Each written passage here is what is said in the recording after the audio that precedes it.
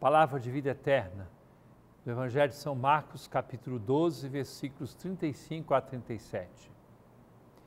Naquele tempo, Jesus ensinava no templo, dizendo: Como é que os mestres da lei dizem que o Messias é filho de Davi? O próprio Davi, movido pelo Espírito Santo, falou: Disse o Senhor ao meu Senhor: Senta-te à minha direita, até que eu ponha teus inimigos debaixo dos teus pés. Portanto, o próprio Davi chama o Messias de Senhor. Como é que ele pode então ser seu filho? E uma grande multidão o escutava com prazer. Querido irmão, querida irmã, o confronto de Jesus com os fariseus, doutores da lei e outras autoridades é sempre muito significativo e muito forte.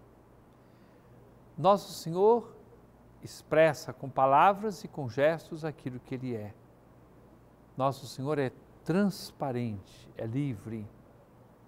O texto que nós ouvimos agora pode ser muito bem compreendido para nós termos a certeza de que Jesus é uma coisa só com o Pai e com o Espírito Santo.